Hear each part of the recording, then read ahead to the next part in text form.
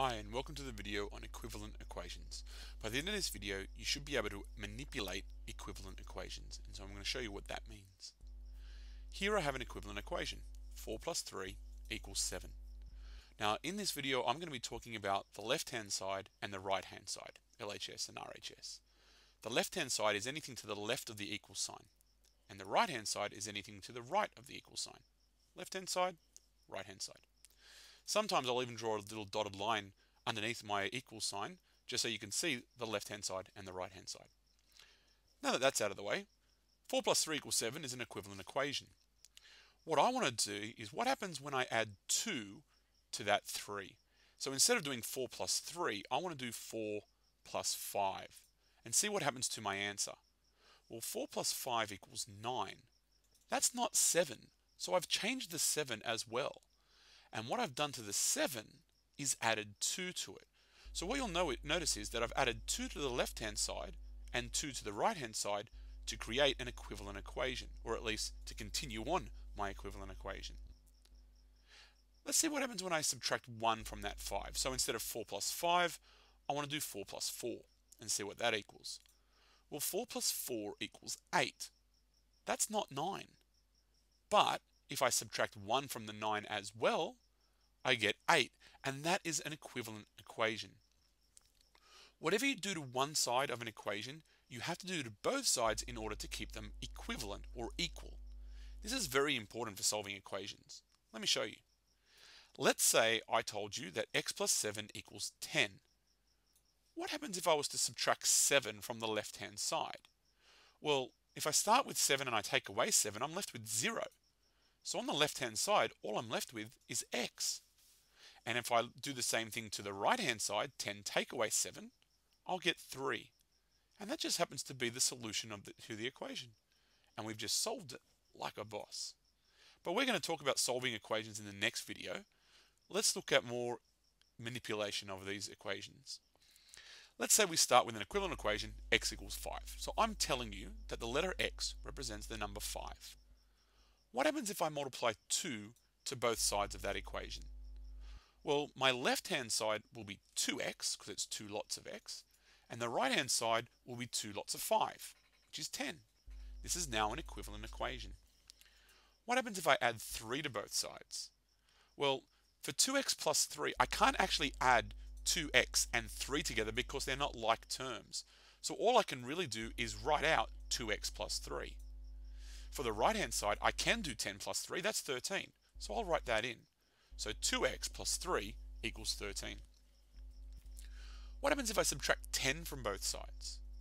Well, I can't subtract 10 from 2x because they're not like terms, but I can do 3 take away 10.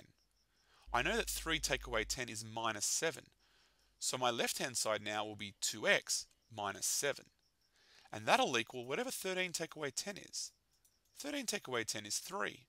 So now I still have an equivalent equation, 2x take away 7 equals 3. Now what I'm going to do is I'm going to add 7 to both sides. Remember what happens when you have a minus 7 and a plus 7? Well, they'll cancel each other out because they equal 0. So on the left hand side, I'll have just 2x. But on the right hand side, I'll have whatever 3 plus 7 is. And 3 plus 7 is 10. Now I have an equivalent equation still, 2x equals 10 or 2 times x equals 10. What I'm going to do now is divide both sides by 2 and see what happens. Well 2x means 2 times x so if I divide by 2 they cancel each other out I'm just left with x. The 2's will go away. If I look at the right hand side 10 divided by 2 I'm left with 5. And here's something I want you to notice. See how we started with x equals 5 and finished with x equals 5? That's because we continue to do equivalent equations all the way through. Also notice something else. My equal signs are directly underneath each other. My left hand side is on the left and my right hand side is on the right of all those equal sign of that red dotted line. I want you to keep that in mind when you try your solving your equations in future. Let's look at the right hand side of the screen. x equals 3. Here's what I'd like you to do to that. I'd like you to follow these instructions and complete these to both sides of your equal sign. And I want to see if you can't finish off with x equals 3 at the end. Pause the video and see what you can come up with. Okay, so we're going to start off by multiplying by 3 on both sides of my equation. 3 times x is just 3x, and 3 times 3 is 9. So I have an equivalent equation, 3x equals 9. Now I'm going to add 5 to both sides. Now you can't add 3x and 5 together because they're unlike terms. So my left-hand side will just be 3x plus 5.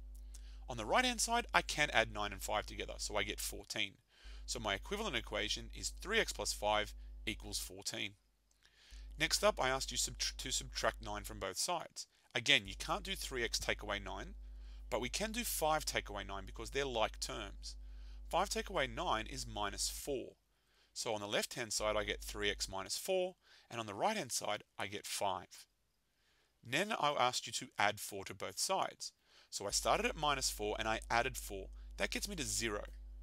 And when the 0, when I get 0 that goes away and I'm left with 3x on the left hand side and I get 9 on the right hand side. Next up I asked you to divide by 3. Well, if I have 3 times something and I divide by 3, I'm just left with that starting number, which is the x. So in this case, I'll get x on the left-hand side, and 9 divided by 3 is 3 on the right-hand side. Notice how I started with x equals 3 and finished with x equals 3? Also notice that if I draw a dotted line underneath my all my equal signs, they all line up. This is what manipulating equivalent equations is all about. In these examples, I'm actually asking you to work out what the operation is that I need to do to both sides of my equation in order to get my equivalent equation. So for example, in example 1, I have 2x plus, sorry, 2 plus x equals 7, and I've got to somehow get to 6 plus x equals 11. What am I doing to both sides of my equal sign?